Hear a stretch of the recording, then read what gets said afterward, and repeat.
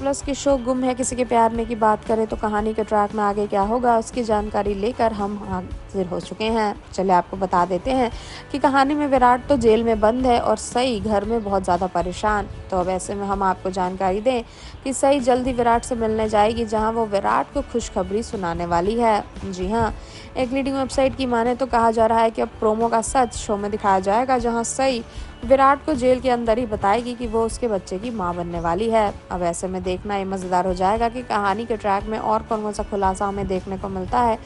जब दोनों का महामिलन जेल के अंदर होगा क्योंकि सही इंतज़ार तो नहीं कर पाएगी विराट के जेल से बाहर निकलने का